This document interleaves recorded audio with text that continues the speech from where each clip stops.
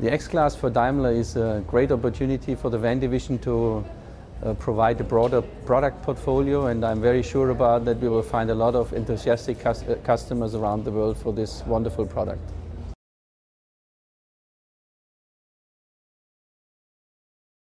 The mid-size pickup segment is a growing segment. Uh, we are expecting it to grow until 2026 about another 40 percent. So it's very attractive for us to launch a product there. And uh, yeah, it's the first uh, pickup of the Mercedes-Benz family in history. So a very special moment for us.